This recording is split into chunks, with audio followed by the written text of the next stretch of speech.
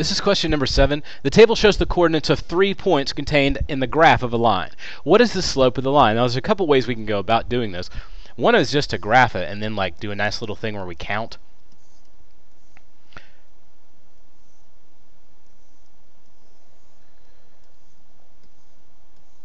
Obviously, that's the worst drawn graph ever, but it is what it is. So I'm going to do negative 1 and 1, so that would be right here.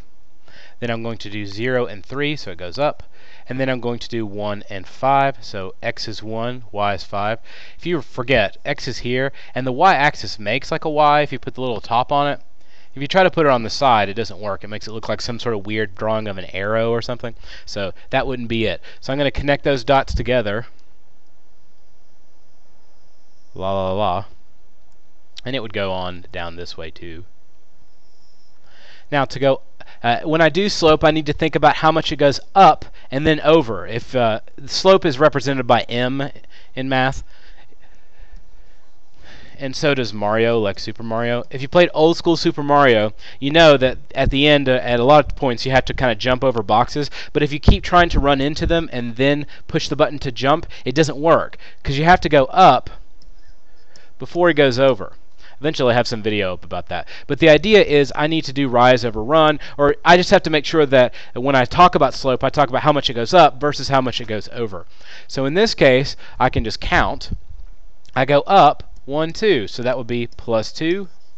And then I go over 1. So I just do the division. 2 divided by 1 is 2. So the answer for slope here is just 2. If you can remember to do it quickly, you don't even have to draw the graph. If you can remember that x is which how much you go over, and then y is how much you go up or down.